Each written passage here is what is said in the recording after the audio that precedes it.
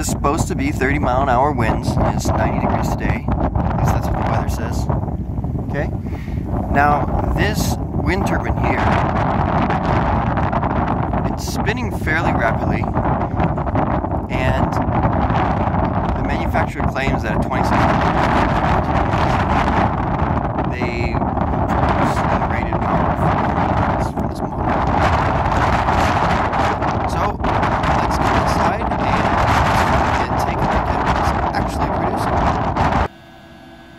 So there's where the wire comes into the truck.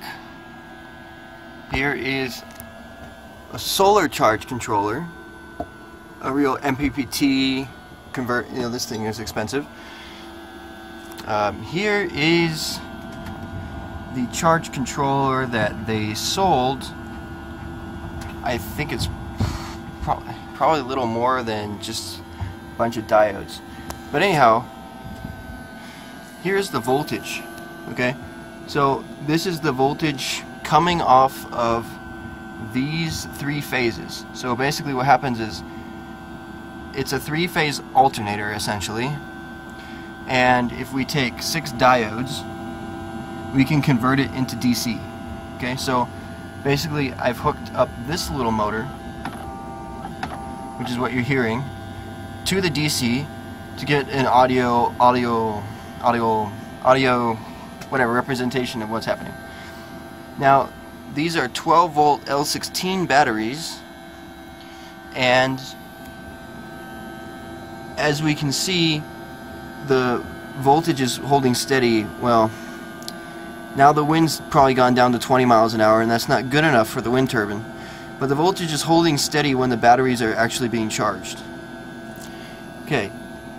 Now, how much current is this putting out? That's the main thing, right? Or the, the big thing at this point. So here's this little motor. If I grab the, the shaft and stop the motor, look how the voltage drops. So we can use, here is one of these clip-on ammeters, and to show that it actually measures voltage, here's a wire that's going to the solar system cells, and we can see it's 25.9 amps. These solar panels are on the roof of the truck, so that's what's coming from there. Now, I mean, this thing isn't putting out anything. So to, to calibrate, I'm going to stop the shaft of this motor so we can see, okay, it's at like 0.03. I let it go. Sure. Okay, we've got. Let's try to put on the light here. That? I don't know. Okay, there's the light. Sure, we got 0.19 amps. Now I stop the shaft again. Oh, it's on hold. I stop the shaft again. And it the wind isn't strong enough again right now for it to actually produce anything. So I'm just going to zero it, which it didn't zero. Now it's getting back up there.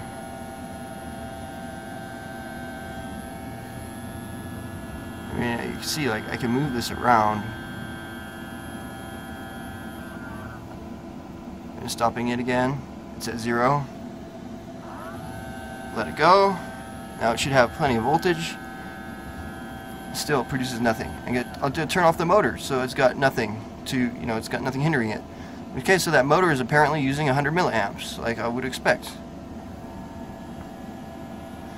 But basically the thing is, this is 30 mile an hour winds, and it's not producing anything. It's just a piece of junk, and I'll show you a picture of what the motor looks like inside and that will explain it's just not built well poorly engineered yeah I went back outside again we can see it's not really spinning very fast right now and then out it goes because the wind's starting to get strong again but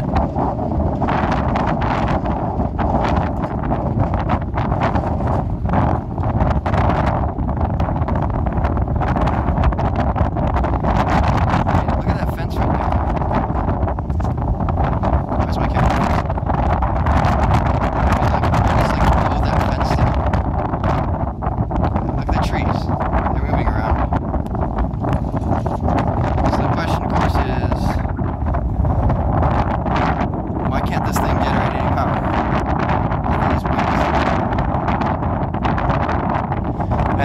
fact that I can actually stop that little motor with my hand and the voltage drops so rapidly just shows that really the motor isn't producing anything at all.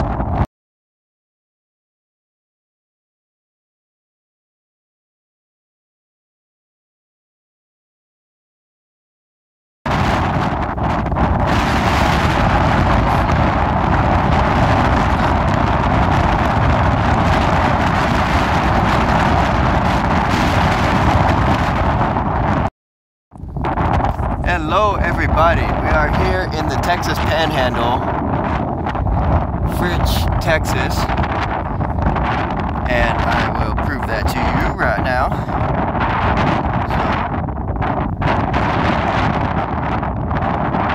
Fritch, and the weather today is supposed to have a wind speed of 26 miles an hour, and just to make just so you know, this is up to date.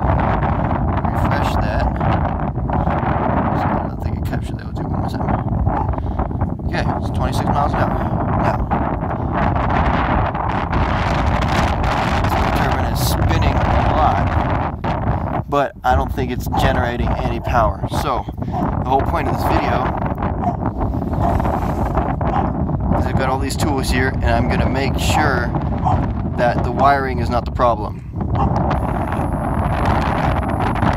Okay, that took some doing.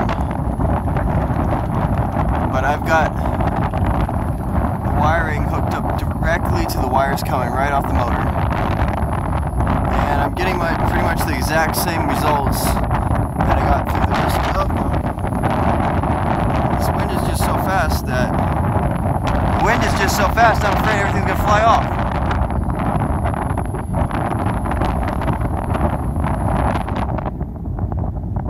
And I can basically stop its power output by, by seizing this motor here. Which tells me it really isn't generating any meaningful current.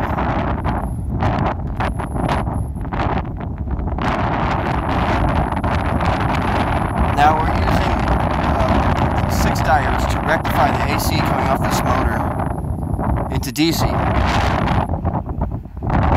the wiring is an issue, it's still the unit itself wiring is not an issue.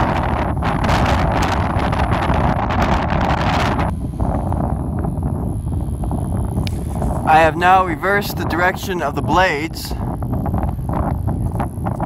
with the hope that maybe, which doesn't really seem theoretically likely, a reverse of, you know, a different rotation will provide more, you know, more power somehow But we see that this is this motor takes about 100 milliamps to run from previous tests. We see that if I seize the motor, the power output drops, and we can see it does nothing to the turbine. This is the voltage once more here. It goes up, it's set to 15 volts right now. And we just have to wait for the wind to be strong enough to get it to 12 volts, but it's exhibiting the safe behavior that I've observed all the time. So, I mean, there's hardly any point. This thing just doesn't make any power.